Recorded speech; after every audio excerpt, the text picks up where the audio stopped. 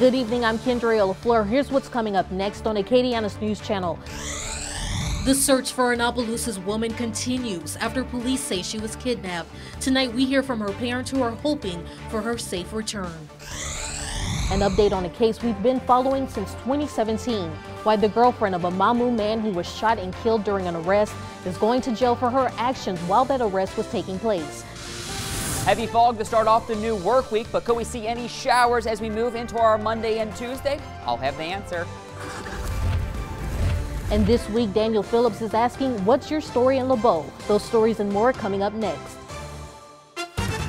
Live from the KATC TV3 studios, this is Acadiana's News Channel at 10.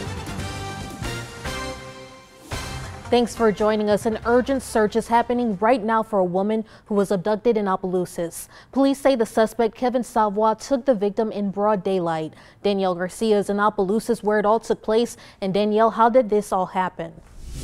This is the last place where Tequencia Laws was seen, at the intersection of Jefferson Street and Oak Street. Police say Kevin Savoy crashed his car into the car that she was in, throwing her and her cousin into that tree.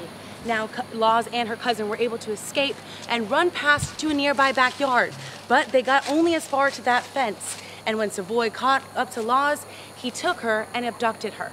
Now, police and her family hope that she comes home safely. She's scared.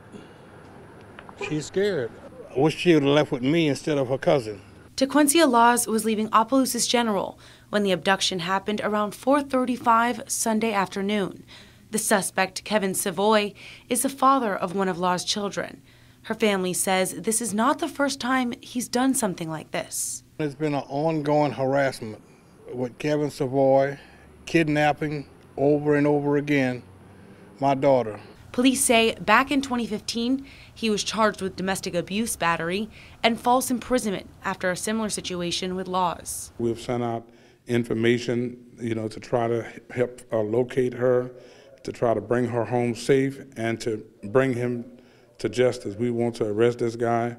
Uh, again, he can, he's considered a very dangerous person. Her father, George Laws, says Savoy sent her a picture of a gun this morning, threatening to kill her. Told her that's what he's going to kill her with if she don't do what he says. Police believe they are in a white 1998 Ford Taurus with chrome wheels. Uh, we have a lot of officers we call in some officers to come in tonight, and they're out there trying to locate him, and I believe that they're closing in on him.